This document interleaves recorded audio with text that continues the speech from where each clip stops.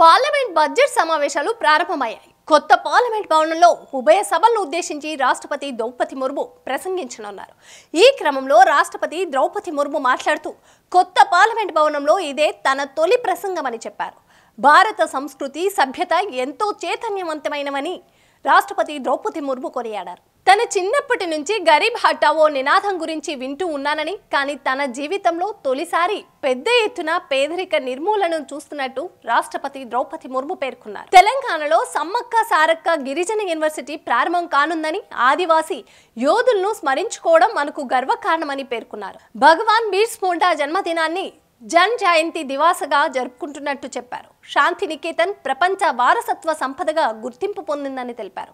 చంద్రుడి దక్షిణ ధ్రువంపై కాలు మోపిన తొలి దేశంగా భారత్ గత ఏడాది చరిత్ర సృష్టించిందని గుర్తు చేశారు.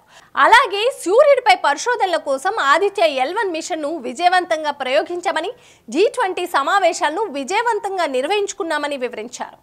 భారత్ తొలిసారి ఆసియా క్రీడల్లో నూట ఏడు పారా ఒలింపిక్స్లో నూట పదకొండు పథకాలను సాధించిందని ప్రశంసించారు.